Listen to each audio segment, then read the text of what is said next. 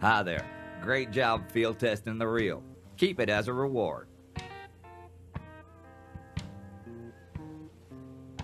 Now, if you could help me with one more thing. My buddy Dale wants an alligator perch, and I don't have the time to catch one for him. Thanks, Bubba. You'll find it in Shady Swamp.